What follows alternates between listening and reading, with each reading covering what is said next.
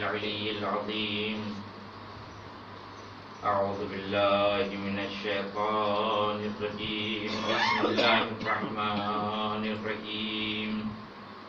حسبنا الله ونعم الوكيل نعم المولى ونعم النصير. الحمد لله الذي لم يتخذ صاحبة ولا ولدا ولم يكن له شريك في الملك. ولم يكن له ولي من الذل وكبره تكبيرا اللہ اکبر والصلاة والسلام على سيدنا ومولانا بالقاسم محمد. اللهم صل على وعليه الطيبين الطاهرين المعصومين المظلومين. ولعنة الله على أعدائهم أجمعين. أما بعد فقد قال الله الحكيم في كتابه الكريم وهو أصدق الصادقين بسم الله الرحمن الرحيم ولقد كتبنا في الزبور من بعد الذكر أن الأرض يرثها عبادي الصالحون صلوات على محمد وعلى اللهم صل على محمد پروردگار عالم کا یہ اعلان ہے اور حتمی اعلان ہے کہ وہ اس زمین کا مالک اور وارث اپنے نیک بندوں کو بنائے گا۔ یعنی یہ ایک دن آئے گا کہ جب پروردگار اس پوری زمین کے اوپر اپنے نیک بندوں کی حکومت قائم کرے گا۔ اسی سے ریلیٹڈ امام زمانہ کی غیبت سے ریلیٹڈ باتیں ہو رہی تھیں اور مسئلہ یہاں تک پہنچا تھا۔ کہ امام کی غیبت ایک ایسی غیبت ہے کہ جو اس سے پہلے کسی بھی امام کو حاصل نہیں ہوئی۔ اللہ نے خاص طور سے امام زمانہ کے لیے یہ غیبت رکھی ہے۔ اور پھر غیب کے معنی میں نے کیے تھے کہ غیبت کا معنی یہ نہیں ہے کہ ہم ان کو نہیں دیکھ پا رہے ہیں، وہ ہم کو نہیں دیکھ پا رہے ہیں۔ بلکہ غیبت کا معنی یہ کہ ہم ان کو نہیں دیکھ سکتے، لیکن وہ ہر آن ہم کو دیکھ رہے ہیں۔ لہذا اگر ایک چیز جو ہمارے اور آپ کے سامنے پیش آتی ہے وہ یہ کہ کوئی نئی چیز اگر ہو، جو پہلے نہ ہوئی ہو اور ایک دم سے ہو جائے، تو اس کو ایکسپٹ کرنا، قبول کرنا تھوڑا سا مشکل کام ہوتا ہے۔ ہمارے استاد کہتے ہیں کہ وہ لوگ تو جو آج سے پچاس سال پہلے مر گئے، ان کو اگر ابھی زندہ کر دیا جائے اور زندہ کرنے کے بعد ان سے کہا جائے کہ آپ یہیں بیٹھے رہیے، ابھی جو آپ کا بھائی امریکہ میں رہتا ہے، اس سے بات کراتے ہیں، اس کو دکھاتے ہیں۔ وہ کہ ہو ہی نہیں سکتا۔ یہ کیسے ہو سکتا ہے کہ ایک آدمی اتنی دور امریکہ میں بیٹھا ہوا ہے، میں اس کو دیکھ لوں۔ اور اگر اس کے سامنے آپ نے اپنے موبائل کو کھول دیا اور چیٹ کرنے لگے، ویڈیو چیٹ۔ تو پہلی صورت میں وہ انکار کر دے گا۔ کیونکہ اس کے لیے بالکل نئی چیز ہے۔ یہ جب شروع میں، جب شروع شروع میں کمپیوٹر آیا تھا، سپر کمپیوٹر جسے کہتے ہیں کتنا بڑا ہوا کرتا تھا وہ۔ ہم لوگوں نے سنا تھا کہ کوئی ایسی چیز ہے کہ جو منٹوں سیکنڈوں میں اتنا حساب کر لیتی ہے تو سمجھ میں نہیں آتی تھی بات۔ ایک دم نئی چیز تھی بالکل۔ تو جب کوئی نئی چیز ہماری سوسائٹی میں آتی ہے، کوئی نئی ترقی آتی ہے، تو پہلی صورت میں ہم انکار کر دیتے ہیں۔ بہت سی ایسی چیزیں ہیں جس کا انکار کر دیتے ہیں۔ لیکن جیسے جیسے وہ زیادہ ہوتی چلی جاتی ہے، ہر ہاتھ میں اب کمپیوٹر ہے، ہر ہاتھ میں اب لیپ ٹاپ ہے، ہر ہاتھ میں موبائل ہے۔ اب یہ بات ہمارے لیے بہت آسان ہو گئی ہے۔ سمجھنا کہ ہم دنیا ہاں بیٹھ کے دنیا میں کسی بھی انسان کو دیکھ سکتے ہیں، اس سے بات کر سکتے ہیں، اس کی تصویر کو دیکھ سکتے ہیں، آن لائن دیکھ سکتے ہیں۔ یہی مسئلہ بالکل بے عین ہی یہی مسئلہ غیبت امام کے بارے میں ہے۔ کیونکہ اس سے پہلے کسی امام نے غیبت حاصل نہیں کی، کسی امام کو غیبت نہیں ملی بالکل سے آخری امام کو جو غیبت حاصل ہو رہی ہے تو لوگ شک و شبے میں پڑ گئے۔ تو مگر ہو سکتا ہے جس انسان کا کام ہماری ہدایت کرنا ہے، جس انسان کا کام ہماری رہنمائی کرنا ہے، جس انسان کا کام یہ بتانا ہے کہ ہم اللہ تک کیسے پہنچیں، ہم اس کی عبادت کیسے کریں، ہم گناہوں سے کیسے بچیں، یہ کیسے ممکن ہے کہ اللہ اس کو ایک پردہ غیب میں رکھ دے۔ تو شروع میں تو لوگوں نے بہت زیادہ اس بات پہ شبہ کیا، اشکال کیا کہ نہیں، یہ نہیں ہو سکتا۔ جیسے گیارہ امام ہمارے سامنے، ہماری زندگی میں تھے، ویسے بارہویں کو بھی ہماری زندگی میں ہونا چاہیے۔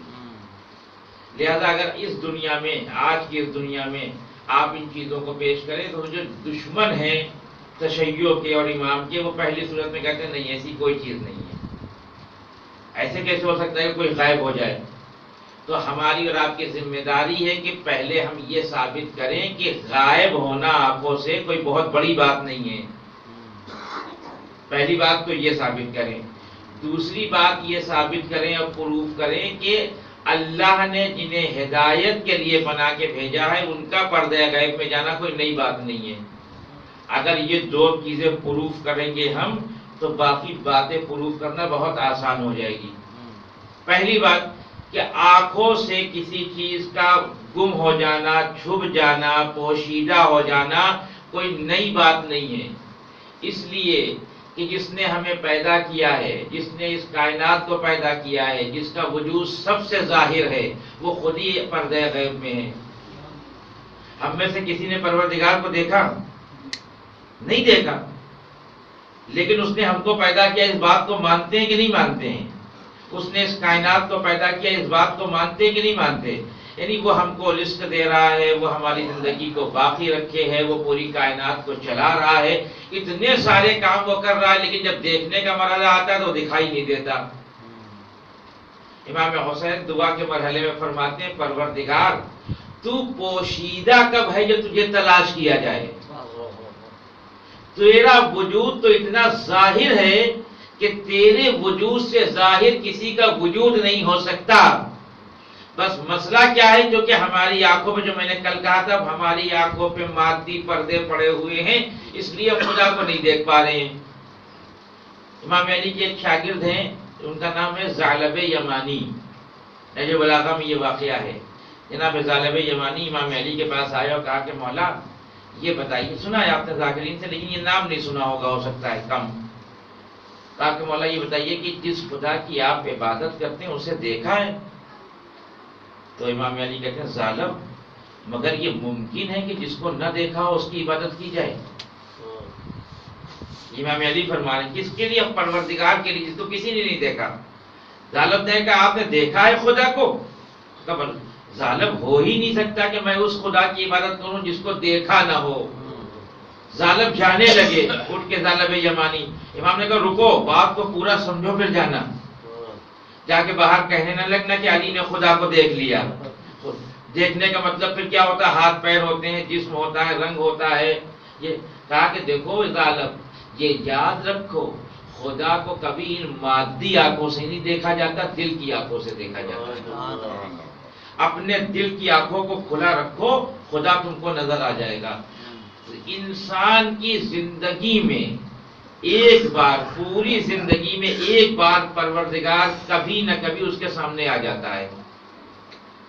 اب یہ انسان کے اوپر ہے کہ اپنے پروردگار کو دیکھ سکتا ہے کہ نہیں دیکھ سکتا۔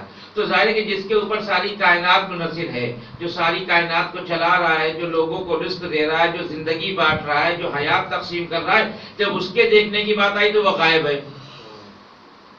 تو اس کے مطلب ہے کہ کسی ذات کا غائب ہو جانا کوئی بہت بڑی بات نہیں ہے۔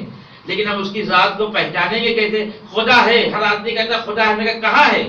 کہا، کائنات کے نظام کو چلتا ہوا دیکھو تو سمجھو کوئی چلانے والا ہے۔ اپنی زندگی کو دیکھو تو سمجھ میں آئے گا کوئی ہے جو تمہاری زندگی کو چلا رہا ہے۔ اس کے معنی کہ اگر کسی کے وجود کو ماننا ہو اور وہ نظر نہ آ رہا ہو تو اس کے آثار کو دیکھو، اس کا وجود سمجھ میں آ جائے گا۔ تو پہلی صورت میں پروردگار غائب ہے۔ تو اگر پروردگار غائب ہو کے ہماری کائنات کو چلا سکتا ہے، ہماری زندگی کو چلا سکتا ہے، ہم کو رزق دے سکتا ہے، تو اس کا آخری نمائندہ بھی غائب ہو کے ہماری ہدایت کر سکتا ہے۔ سبحان یہ ایک بات۔ دوسری بات۔ اب ہماری اور آپ کی ذمہ داری ہے کہ ہم لوگوں کے لیے اس بات کو ثابت کریں کہ امام زمانہ کی غیبت کوئی نیا مسئلہ نہیں ہے۔ اس سے پہلے بھی اللہ کے نمائندوں نے غیبت حاصل کی ہے۔ ان کو غیبت نصیب ہوئی ہے اور وہ امت سے دور۔ غیبت کا مطلب جب ہادی کی غیبت کا مطلب ہوتا ہے، اپنی امت سے ہادی کا دور ہو جانا۔ اس انداز میں کہ امت ہادی کو نہ دیکھ رہی ہو۔ آئیے میں آپ کے لیے کم سے کم میرے پاس کم سے کم میرے پاس تیرہ سے چودہ ایسے مورد ہیں کہ جہاں میں آپ کے لیے ثابت کر سکتا ہوں کہ اللہ کے نمائندے جن کو اللہ نے اپنا نمائندہ بنا کے بھیجا تھا، اپنا امبیسڈر بنا کے بھیجا تھا، وہ امت سے غائب ہو گئے۔ پہلی غیبت جو بہت شاندار غیبت ہے، وہ جناب یوسف کی ہے۔ آپ نے سنا ہے، پورا واقعہ ہے، میں دہراؤں گا نہیں کہ جو بھائیوں نے جناب یوسف کو لے کے گئے جنگل میں اور چاہا کہ مار دیں، چھوٹے والے بھائی نے کہا کہ اس کو مارو نہیں۔ کنویں میں پھینک دو، پھر ہم لوگ چلے چلیں گے اور کنویں میں پھینک کے چلے آئے۔ اور جناب یعقوب سے کہا کہ وہ تو بھیڑیا آیا تھا، وہ کھا کے چلا گیا۔ جناب یعقوب جیسے ظاہر ہے کہ امام نبی تھے اپنے زمانے میں، انہوں نے جانوروں سے پوچھا کہ کیا تم نے میرے بیٹے کو کھایا ہے؟ تو جانوروں نے کہا کہ ہمارے اوپر نبی کے بیٹے کے خود کا گوشت حرام ہے۔ حرام ہے۔ اس سے جناب یعقوب تو یہ سمجھ گئے کہ جناب یوسف زندہ ہے۔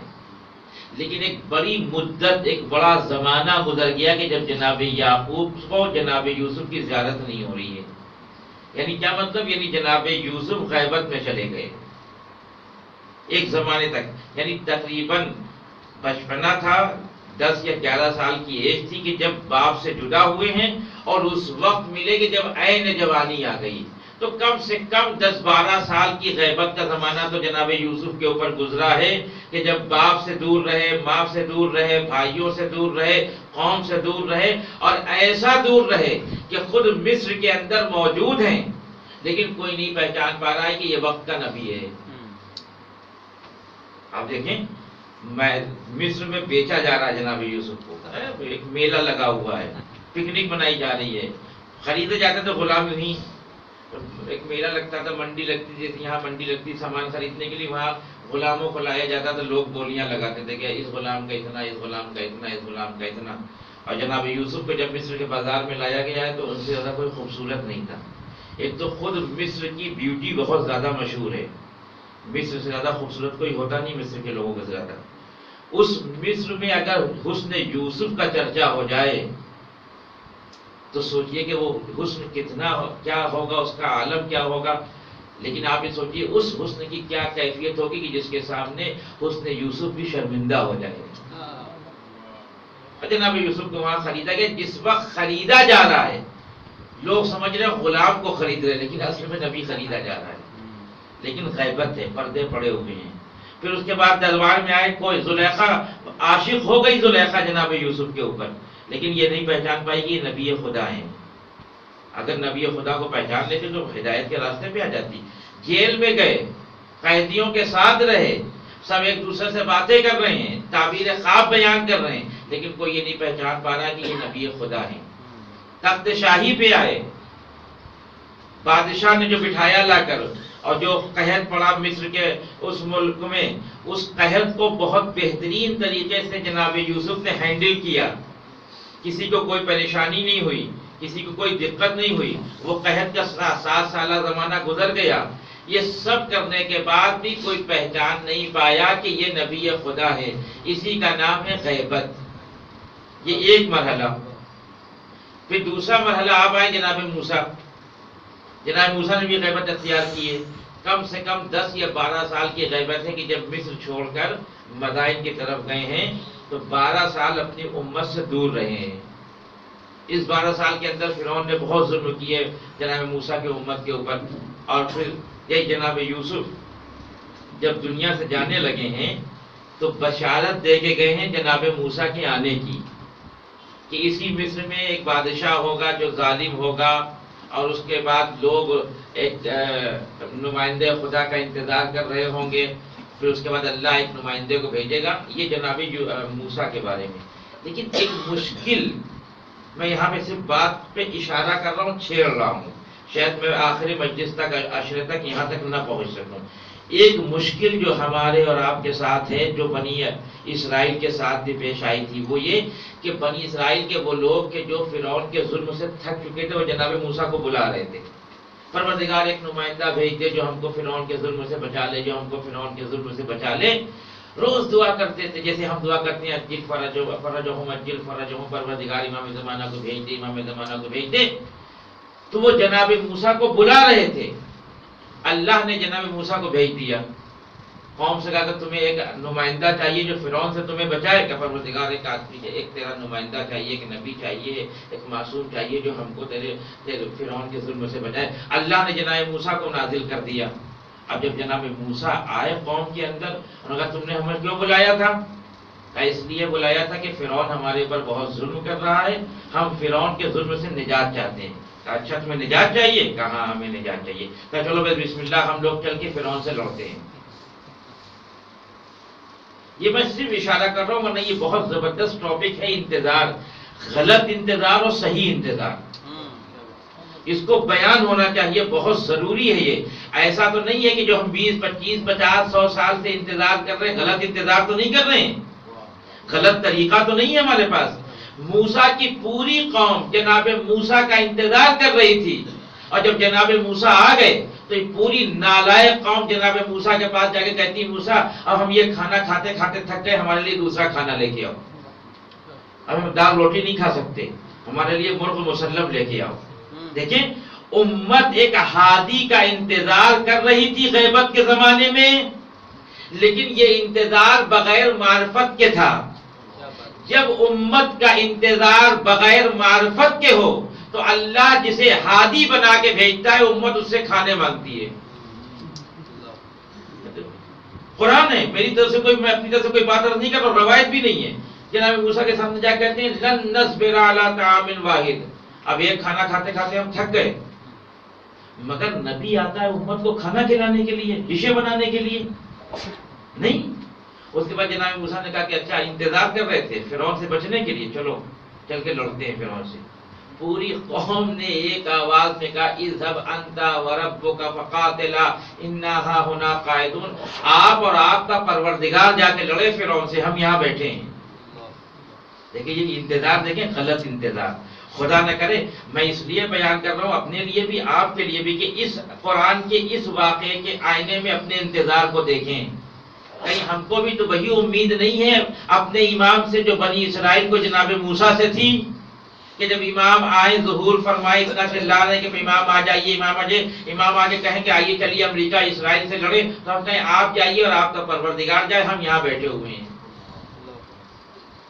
جناب موسا کے ساتھ یہ ہوا کیونکہ بلا رہے تھے، لیکن جس کو بلا رہے تھے، اس کا عرفان نہیں تھا۔ لہذا ضروری ہے اپنے وقت کے امام کی معرفت حاصل کرنا، تاکہ جب وہ ظہور فرمائے تو ہمارا وہ حال نہ ہو جو بنی اسرائیل کا ہوا تھا۔ ایک سلوات پڑھے محمد والے محمد۔ پہ سمیت رہا ہوں تو نہیں تو جناب موسیٰ کی غیبت ہے، جناب ادریس کی غیبت ہے، جناب خضر کی غیبت آج تک جاری ہے۔ جناب عیسیٰ آج تک پردے غیب میں چوتھے آسمان پہ موجود ہے کہ جب ہمارے امام تشریف لائیں گے تو اس کے ساتھ خود جناب عیسیٰ بھی آئیں گے جو بخاری میں روایت ہے کہ تمہیں کیسا محسوس ہوگا کہ جب عیسیٰ جناب عیسیٰ آئیں گے، تمہارا امام آگے ہوگا اور جناب عیسیٰ اس کے پیچھے نماز پڑھ رہے ہوں گے۔ رسول اکرم کی وہ تین دن کی غیبت جو آپ مکے سے نکلے ہیں، مدینے جانے کے لیے اور غار کے اندر پوشیدہ ہو گئے، کسی کو نہیں معلوم کہ اللہ کا یہ رسول کہاں ہے۔ تو غیبت کے معنی جو کہ امت سے رہنما کا دور ہو جانا، اسی کا نام ہے غیبت کچھ دن کے لیے۔ اب اگر یہ زیادہ طولانی ہو جاتی ہے تو امت کا امتحان زیادہ ہو جاتا ہے۔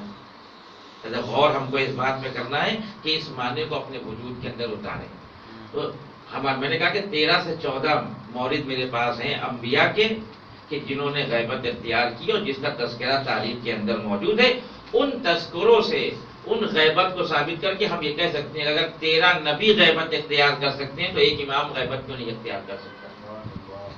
اس کی مطلب غیبت امت سے دور ہو جانا۔ جناب یونس، مچھلی کے پیٹ میں رہے، امت کو پتہ نہیں کہاں ہے۔ اب یہ بھی خوب بڑی عجیب غیبت ہے یہ۔ کہ اللہ نے مچھلی کے پیٹ میں لے جا کے رکھا۔ امت سے دور ہو گئے تھے، تو لا کے مچھلی کے پیٹ میں رکھا، پھر عراق میں وہ مچھلی پانی کے قریب آئی اس کو نکالا۔ یہ سب مورد ہیں جن سے آپ امام زمانہ کی غیبت کو ثابت کر سکتے ہیں۔ اگر یونس غیبت اختیار کر سکتے ہیں، اگر جناب عیسیٰ غیبت اختیار کر سکتے ہیں، اگر جناب موسیٰ غیبت اختیار کر سکتے ہیں، تو امام زمانہ بھی غیبت اختیار کر سکتے ہیں۔ کوئی نئی بات نہیں۔ یہ آپ بہت آسانی سے ثابت کر سکتے ہیں کسی کے لیے۔ آخری بات آج کی جو میں نے کل چھیڑی تھی کہ کل میں نے عرض کیا تھا کہ غیبت سغرا کا ریزن کیا ہے؟ تو اس میں یہ کہا تھا کہ امت کو عادت پڑ جائے اپنے امام سے دور رہنے کی۔ دھیرے دھیرے دھیرے دھیرے کرتے آج میں آپ کی خدمت میں یہ بات دس کر کے بات کو ختم کر دوں گا کہ غیبت کبرا کا ریزن کیا ہے۔ جسے کہتے ہیں فلسفہ کیا ہے؟ فلاسفی اگر آپ پڑھنا چاہیں غیبت کبرا کی کیا ہے؟ اب روایات بہت ہیں اس سلسلے میں۔ کم سے کم آٹھ قسم کی روایات ہیں جس میں آٹھ طرح کے فلسفے اور ریزن بیان کیے گئے ہیں امام کی غیبت کبرا کے غیبت کبرا کیا تعریف کی تھی میں نے؟ تھری ٹوینٹی نائن سے لے کے آج تک۔ اور آج سے لے کے جب تک امام ظاہر نہیں ہوتے، یہ غیبت کبرا ہے۔ یعنی بڑی غیبت۔ اس غیبت کبرا میں اور غیبت سغرا میں فرق کیا ہے؟ غیبت سغرا میں لوگوں سے امام ملتے تھے۔ اپنے نواب خاص کے ذریعے لوگوں کا جواب دیتے تھے۔ لیکن غیبت کبرا میں یہ راستہ بند ہو گیا۔ 329 کے بعد امام نے کہا کہ اب میرا کوئی نائب خاص نہیں ہے۔ اب اگر تم کو کوئی مشکل پیش آتی ہے، کوئی مسئلہ پیش آتا ہے تو علماء کی طرف رجوع کرو۔ علماء، وہاں سے تقلید کا کانسیپٹ شروع ہوا ہے۔ یاد رکھیے، یہ جو ہم آپ تقلید کر رہے ہیں، یہ اسی وقت تک ہے جب تک وہ پردہ غیب میں ہیں۔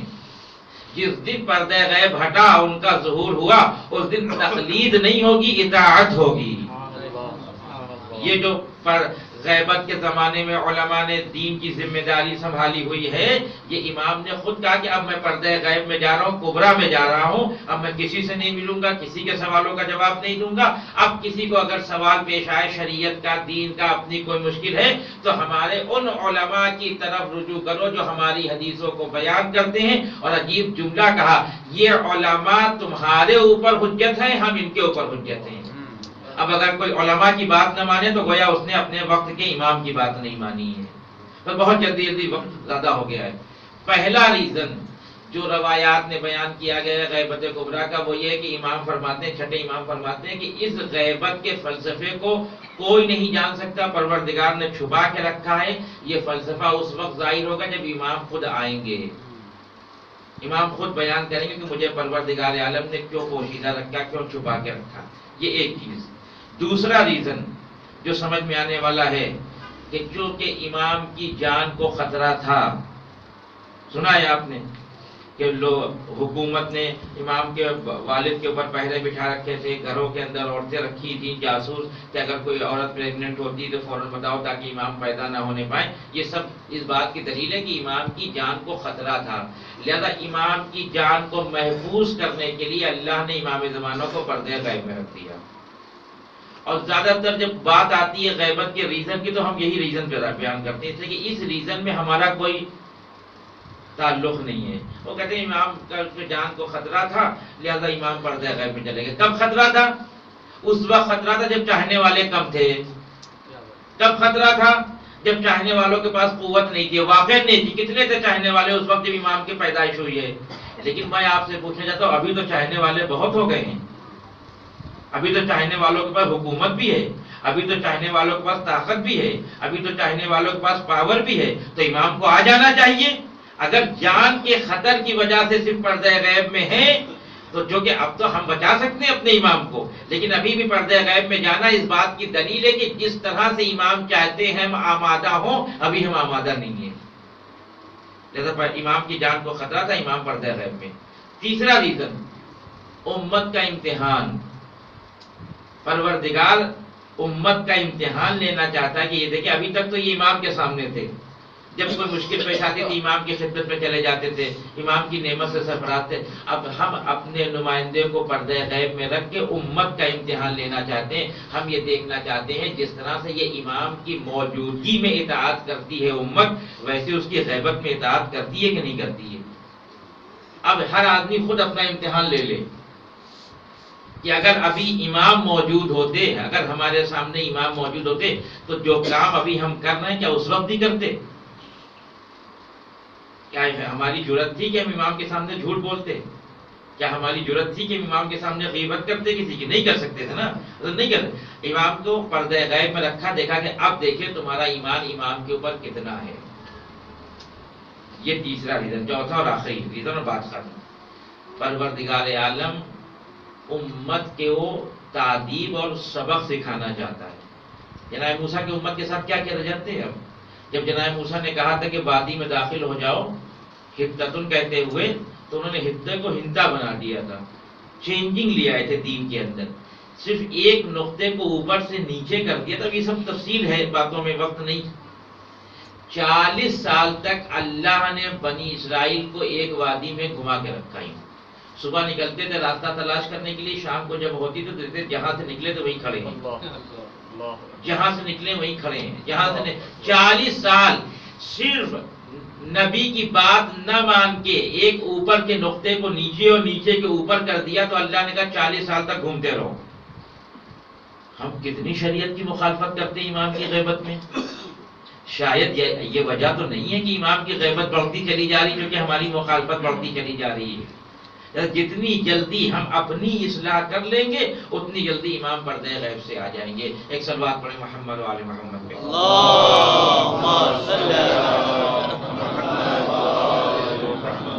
تو یہ چار ریزن میں نے آپ کی خدمت رد کیے پہلا کہ امام کی جان کو خطرہ تھا۔ دوسرا یہ کہ اس ریزن کو کوئی نہیں جانتا جب امام آئیں گے تو خود بیان کریں گے۔ تیسرا امت کا امتحان تھا ہمارا آپ کا اور چوتھا ہم کو سبق سکھانا ہے پروردگار کہ اگر تم نے امام کی بات نہیں مانی، تو ہم تمہارے اس نمائندے کو تم سے دور کر دیں گے۔ اب ہماری اور آپ کی غیبت میں ذمہ داری کیا ہے؟ اپنی اصلاح کریں۔ دیکھیے، اصلاح کے مسئلے میں عمر کی قید نہیں ہے۔ انتظار نہیں کرنا چاہیے ہم کو کہ جب ہم ریٹائر ہو جائیں گے تب اپنی اصلاح کریں۔ گے ہندوستان میں لوگ انتظار کرتے ہیں اس بات کا، جب ریٹائر ہو جائیں گے جب حج کرنے کے لیے جائیں گے۔ جب ریٹائر ہو جائیں گے تب زیارت کرنے کے لیے جائیں گے۔ کس نے ضمانت لی ہے کہ ریٹائر ہونے سے پہلے زندہ رہیں گے؟ لہذا کوئی عمر، کوئی قید نہیں ہے کہ اس زمانے سے شروع کریں گے کہ ہم کو جن، جنت کے راستے پہ جانا ہے۔ اب یہ سبق ہم کو اور آپ کو کربلا سے ملتا ہے۔ آپ سوچیے کربلا کے میدان میں جناب قاسم کی عمر کتنی تھی؟ تیرہ سال کی عمر۔ تیرہ سال کی عمر۔ لیکن بچے کے اندر اصلاح کا کتنا جذبہ پایا جاتا اللہ اکبر، شب عاشور جب امام حسین نے اپنے اصحاب کو جمع کیا ہے۔ اور جمع کرنے کے بعد تقریر کی کہا کہ سب کل مارے جائیں گے، یہ دشمن ہمارے خون کے پیاسے ہیں، جو ہمارے ساتھ کل رہے گا وہ شہادت اس کو نصیب ہوگی۔ اور پھر سب کا نام لینا شروع کیا ہے کہ کر کی کہ کر کی اور امدن امام حسین نے جناب قاسم کا نام لے لیا۔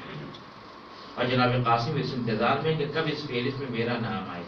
اور جب فہرست تمام ہو گئی اور سب کا نام لے چکے امام حسین، تو جناب قاسم چچا کے پاس آئے۔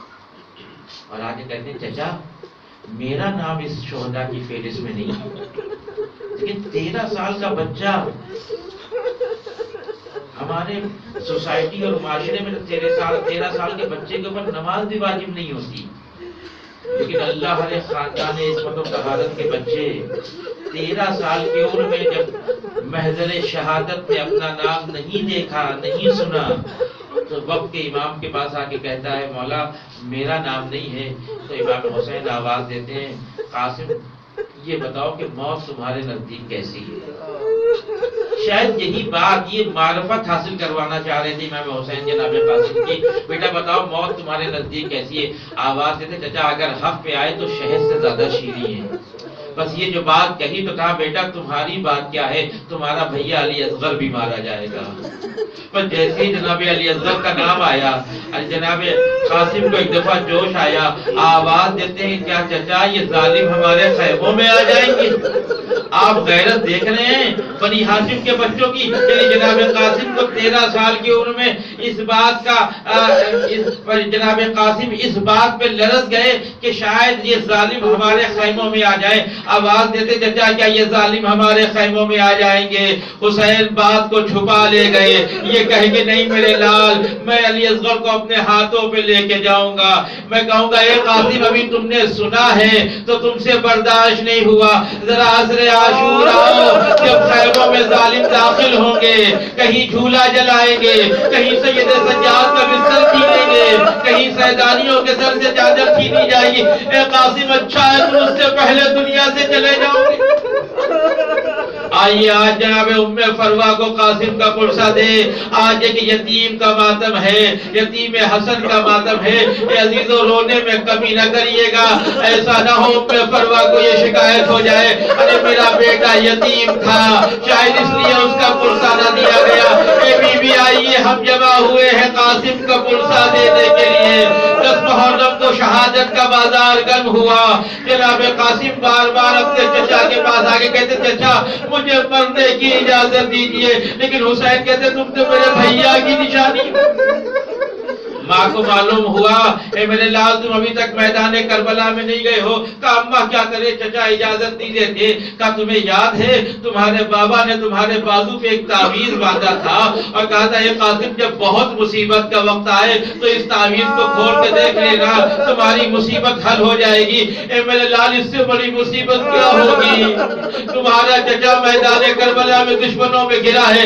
اب جو قاسم نے تعویذ کو کھولا تو لکھا ہوا تھا، اے بھیا کربلا میں میں تو نہ رہوں گا۔ میری طرف سے قاسم کو قربان کر دینا۔ خوشی خوشی تعویذ کو لے کے آئے چچا کی خدمت میں۔ چچا، میں اجازت مانگنے نہیں آیا ہوں۔ میں تو بابا کا تعویذ لے کے آیا ہوں۔ بھائی نے بھائی کی تحریر کو پڑھا۔ ارے بھائی کا چہرہ سامنے آ گیا۔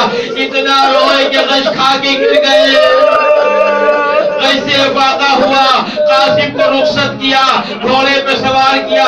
عزیز ایسا ایک کام انجام دیا حسین نے، کربلا میں کسی کے ساتھ انجام نہیں دیا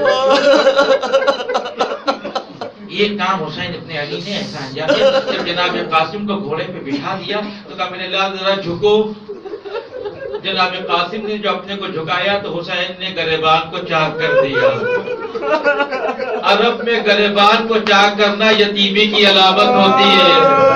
تو یہ حسین دشمنوں کو بتانا چاہتے ہیں، یہ میرا بھتیجا یتیم ہے، اس کے اوپر ظلم نہ کرنا۔ لیکن حسین کی یہ تدبیر کام نہیں آئی۔ ایک دفعہ جناب قاسم دشمنوں میں ٹوٹے۔ ادھر کے گھوڑے ادھر ہونے لگے، ادھر کے گھوڑے ادھر ہونے لگے۔ ارے ظالموں پہ حملہ کرنا شروع کیا۔ بڑے بڑے پہلوانوں کو قتل کیا۔ لیکن ظاہر ہے کہ تیرہ سال کا بچہ، تین دن کا بھوکا و پیاسا، چاروں طرف سے ظالموں نے گھیرا کوئی تیر مارتا ہے، کوئی تبر مارتا ہے۔ اسی عالم میں جناب قاسم گھوڑے سے زمین پہ آئے۔ اپنے چچا کو آواز دی، حسین مقتل میں بڑھے۔ ظالم چاہتے ہیں سر و تل میں جدائی کرے۔ حسین چاہتے ہیں قاسم کو بچا لے۔ ارے اسی درمیان حسین نے ایک مختصر سی جنگ انجام دی۔ اب جو لشکر پہ حملہ کیا لشکر جو بھاگا بیچ میں قاسم کا چھوٹا سا جب جنگوں پہ گھوڑے جاتے ہیں تو ان کی نال بندی ہوتی ہے، اس میں لوہے لگائے جاتے ہیں، تازہ لوہے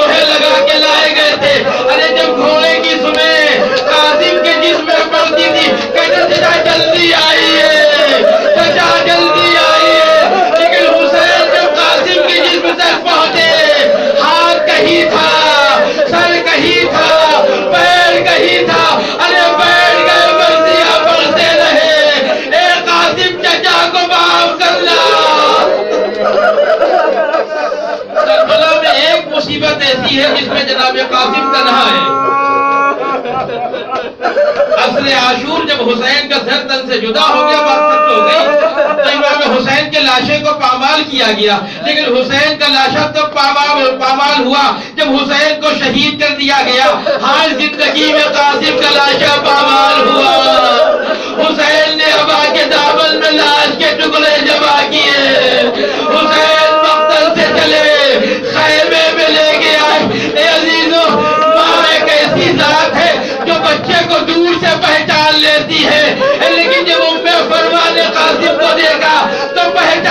پہچان نہ سکی بس اتنا کہا، ارے میرا قاسم اتنا چھوٹا نہ تھا۔ جسم کے اتنے ٹکڑے ہو گئے کہ ماں بھی قاسم کو پہچان نہ سکی۔ اے قاسم، تمہارا لاشا پامال کر دیا گیا۔ یتیمی میں تمہارے اوپر یتم ہوا۔ انا للہ و انا الیہ راجعون۔ پروردگار تجھے واسطہ محمد وال محمد کا ہماری زندگی میں بہت کرنا جو لوگ مخصوص ان کے قرضوں کو دور فرما روزگار تجھے واسطہ محمد والے محمد کو علماء کرام مراج کرام انقلاب اسلامی کا سایہ ہمارے سروں کے داخل ہے ایک بندے مومن نے اپنے بیٹے کی کامیابی کے لیے دعا کر کی درخواست کی، پروردگار ان کے بیٹے کو کامیابی عنایت پروردگار تجھے واسطہ ہے محمد والے محمد کا امام زمانے کے ظہور میں تعجیل فرما۔ ہم کو ان کے آوان و انشاء میں شامل فرما۔ ربنا وتقبل دعا، انك انت السميع العليم، وتب علينا وانك انت التواب الرحيم. فاطمہ قاسم